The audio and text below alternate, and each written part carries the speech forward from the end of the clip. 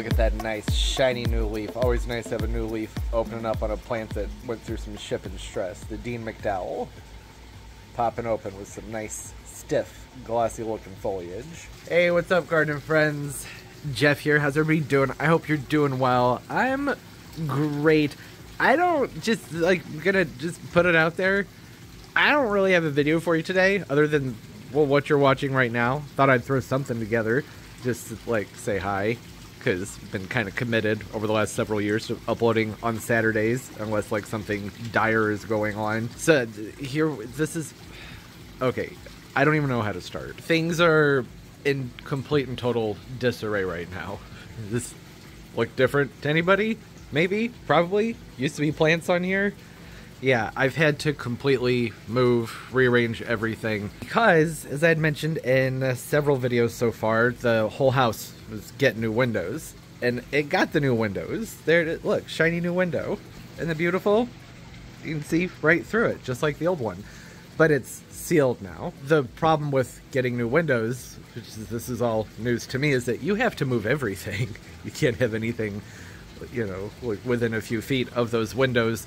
And uh, there were some setbacks. The construction part of like sealing and building the outside frames is taking longer than expected. So uh, I wasn't able to put everything back, which was going to be what happened this week. My plan was okay, I'll pull the plants out, and then the windows will get installed, and then put the racks back, install the new rack, which I've talked about in multiple videos. So I have a whole new shelf system to go over here where these tables are. And how fun! Get to rearrange all the plants. But sometimes things just don't work out the way that we want them to. And here we are. Everything is in complete and total just disarray and chaos out here. I had to pull all the plants off of here, got most of them moved onto that table because this table wasn't blocking that window. So I was able to get a lot of them over there, but everything that was on the floor is now over here. Like there are things spread all over the place that need to be rearranged and put back into a more appropriate place. Right now I have plants just sitting on the floor in the dark over in the corner. Obviously, not ideal, not the way you want to go with things, but I can't put them back until they're done with this situation here. So here we are. It's actually Saturday morning. This video is going to be out hopefully in a couple of hours, depending on how long it takes YouTube to do the whole entire processing, checking, and all that stuff that for some reason seems to take longer and longer every single week. But other, this is just, love to be able to bring out some fun projects, but it's just not an option this week. Just sort of at the mercy of construction right now. It's going well. There haven't been any hiccups. That's one thing. Anytime you have something done around the house, there's always that paranoia of okay, so it should go smoothly and simply, but what kind of problems are going to arise in the process? There were sort of some hiccups for the people doing the windows, and they realized that something about the way they had to build the frame on the outside was going to be much more complicated than they had anticipated. So that set them back a few days. They're still probably going to have to spend a couple more days here next week getting things finished up. That's not a big deal. I mean, it sucks for them. I feel bad for them because they have a schedule they'd like to keep, but no major hiccups where you like find out that like oh we just discovered that we have to rip this wall out and you have like thirty thousand dollars worth of repairs to make something like that you know those sorts of things. That didn't happen. That's a good thing. Then a lot of noise a lot of banging people outside of the windows. I thought about maybe just pushing forward with things and getting some stuff done out here while they were here but it just felt weird when there were humans standing right on the other side of the windows looking in here. I, I couldn't bring myself to do it. It just it felt really cringy. So i didn't there are, um, oh, I don't remember what I was about to say. I had some plant updates I could give if I could get to the plants early. I can't get to most of them. There also the last video that came out, the comments just showed up in my app yesterday. Wednesdays, the other day of the week that I release videos, Wednesdays and Saturdays. Wednesday's video uh, went out, I think, about half an hour, an hour before YouTube crashed on Wednesday. So if you didn't get notified of a video, that's why YouTube went down. So the video never went out to being suggested, or it's like the worst performing video I think I've ever uploaded because it went out during a crash. That's happened before. It's not the end of the world. But I did see comments. I'll make sure to reply to everybody here as soon as I get through with getting this video up so y'all know that I saw your comments. I appreciate it. Thank you. Beneficials seem to be doing well out here. That video came out just a few days ago, but I filmed it about two and a half, three weeks ago. Still kind of soon to say whether or not the predator mites are doing much of anything. I am still seeing spider mites on some of the plants, but really only the plants that are the most prone to spider mites, like some of the calatheas. They are still showing some signs. Some of the heliconias were the ones that were on the shelves. Were the ones that are over here in the pond, not so much. Maybe it's too moist over here for the spider mites and they just don't like it. I don't know, or there's just other plants around they seem to prefer, or I'm just not noticing them yet. That's also definitely a possibility that I just haven't seen them yet.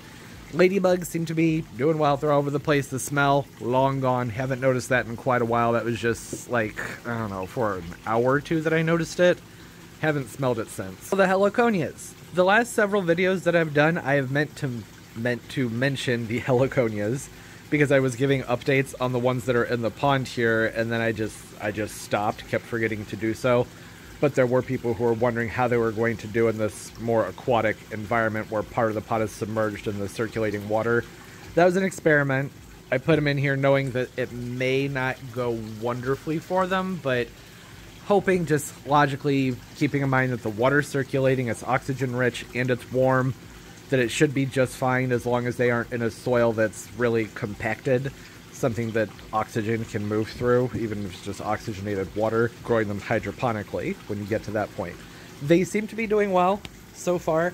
Haven't noticed a ton of movement out of the Rostrata, which is bent over and leaning. I need to come in here. I think it'd be a good idea to give the Monstera a twist that this leaf right here isn't hanging over, because that does, I was about to say, it appears to be shading things. I think that that's kind of an understatement, right? You clearly tell that this is shading things quite a bit. Regardless of that, what I do notice is that there's growth down in here. Don't know if we, you're not going to focus. There we go. There's a good amount of growth coming out the bottoms of the containers on all three of them. So there's a Carmesita in here, which is the one in the very front, a Rostrata in the middle, and then I think the one in the back is a Tropic more than likely. Regardless, they do all seem to be doing well. The Rostrata not doing as well, which is surprising because Rostratas I usually have a better time overwintering than most other Heliconias. They seem to not throw as much of a fit with the temperature shift between moving outdoors where it's nice, warm, and humid to being moved indoors where things are more mild. All things are pretty warm and humid in here, so it's hard to really make much of an assessment with the way the growing conditions are in here versus when I used to keep them in the house or even just when I had different heating out here. Not seeing as much growth out of the bottom of the container with the Rostrata, but it has popped out a couple of new leaves on this this stem right here. That leaf not looking so good. I reached over from the back earlier and I thought maybe there were spider mites, just judging from the coloration on there. Didn't see anything that could just be a nitrogen thing, or this could have been one of the stems that flowered. Perhaps this did have a couple flowers on it over the summer, so maybe that's just an old stem that's about ready to die off. What I would like to see with it, though, would be some more growth from the inside. Like seeing plenty of growth in there from the Carmesita.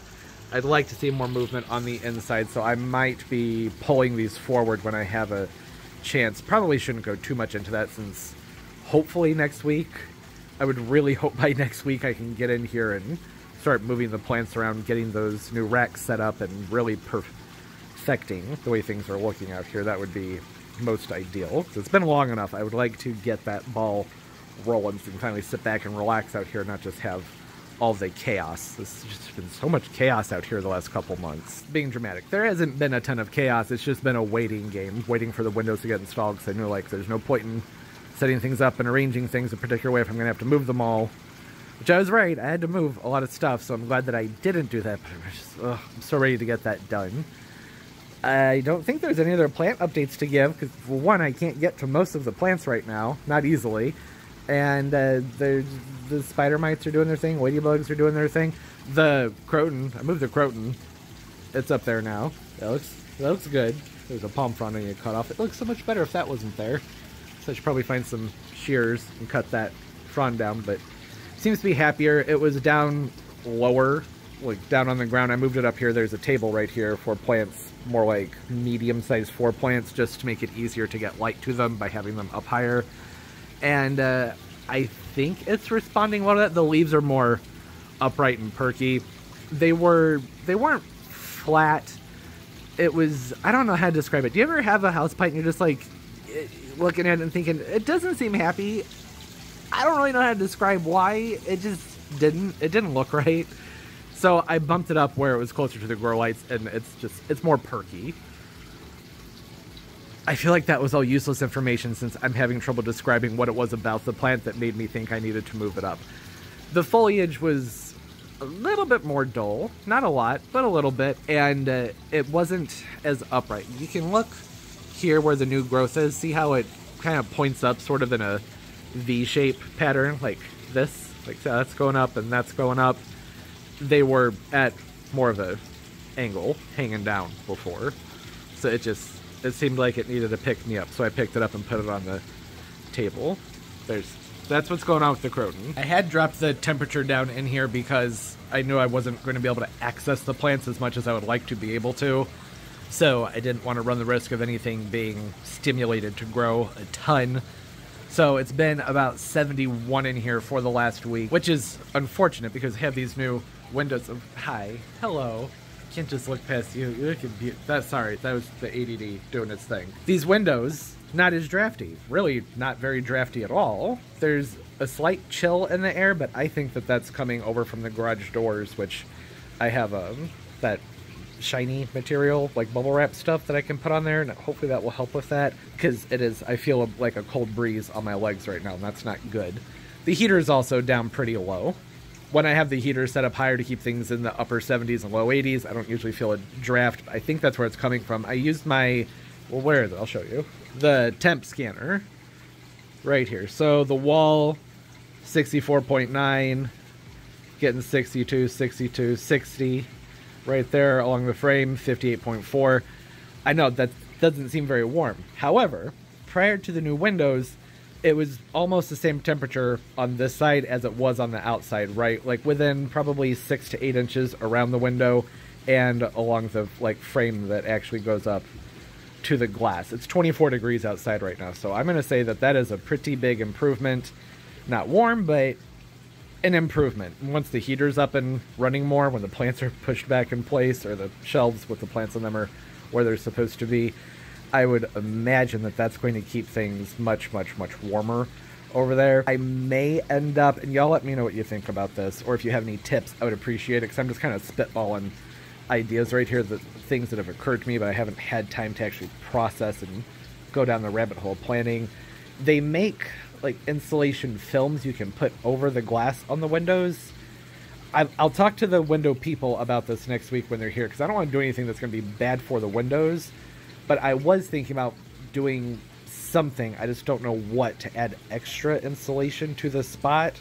If that's really even necessary, I feel like if I'm going to focus energy on adding insulation, it needs to be on the garage doors over there. And the wall this entire wall that's over here see that's not can you tell from right here? See the problem? Yeah that wall's not insulated. I drywalled and insulated the entire well not the entire three main walls of the garage. Never did this one because i don't i don't can i what do you do with all the stuff that holds the garage doors up? I can take it down. That's not a problem. I'm great at ripping stuff apart. No problem putting it back together, uh, maybe not so much. I mean, that's how we learn, right? Tear something up, and if you can put it back together, you learn something. As long as you remembered what you did. But I don't, I don't know if that's in my wheelhouse because I've never even explored the option. But there's the spray foam insulation. I've been thinking about maybe doing that, where they could potentially come in and just fill in the gaps in here, and maybe forget the drywalling. I don't, I don't really know if you even need to be thinking about all this because when the heater's cranked up a few more degrees it's pretty warm in here. But that was just supposed to be a conversation about the efficacy of the new windows. Seemingly doing a great job compared to the old ones, at least in the house. Noticing a huge difference. I take you in there, but there's construction going on. It's very loud. It's very bangy. I'm surprised we're not hearing it out here right now. That was another reason I hadn't been filming this week or vlogging because I'm pretty sure I mentioned there's people and a lot of noise in the background.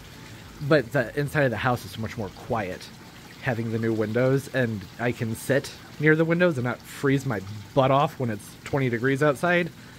That's very nice. Loving new windows. New windows are fun and they're so clean. I love a clean, shiny window. Might be a new obsession. We don't. Know. This is boring. I don't want to talk about new windows for that long. We're a plant channel here. So here are plants. Yay, plants. They seem to be happy. As I zoom in on a dead palm frond. Such happy plants. Got some new prop pots in the mail, which I'm excited about. It's basically just a slushy cup with holes in the bottom. It's just a clear plastic pot with a dome you put over the top. You've probably seen them before. You snap that onto the pot. Nifty. Oh, there are holes in the top, which if there's holes in the top of the slushy cup too. Those are really nifty for getting things rooted that are a little bit more temperamental. I have a whole bunch of alocasia. Are they macrorhizas? I think they're macrorhizas. Let's look. In here, I have a whole pot just full of tons of little offshoots that I've been getting going since midsummer.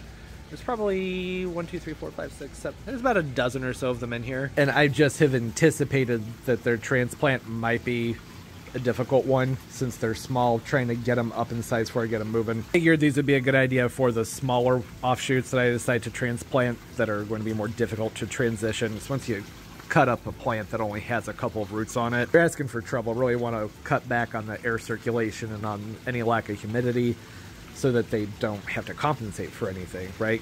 You want to preserve all the roots that you can when you pull them up and trim them and move them, but reality is you're potentially going to damage a root or two, and they're little babies. They probably only have a few roots to begin with, so that's a big loss if anything happens. That's why I have these over here. Those are fun to work with. And I have a whole bunch of other plants out here that I want to start dividing and propping for some other projects that I think might be fun.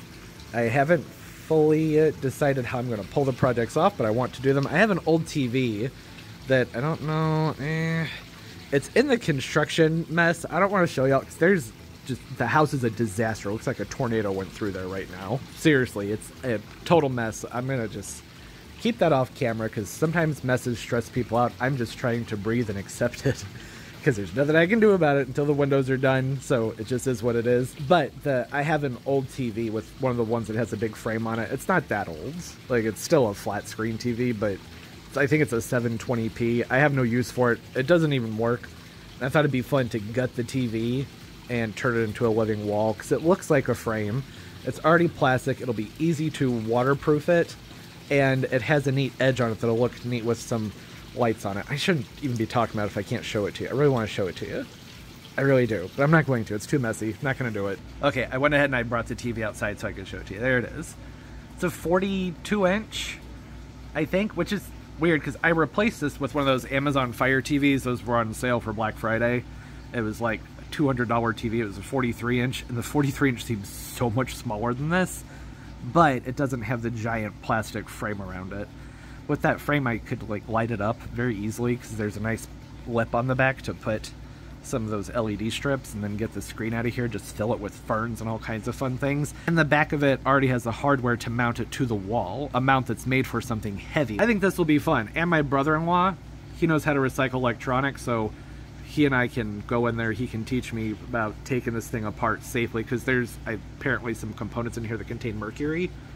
So if you didn't know that, never throw a flat screen in the trash. You're not supposed to do that. You're supposed to take it to an electronic recycler.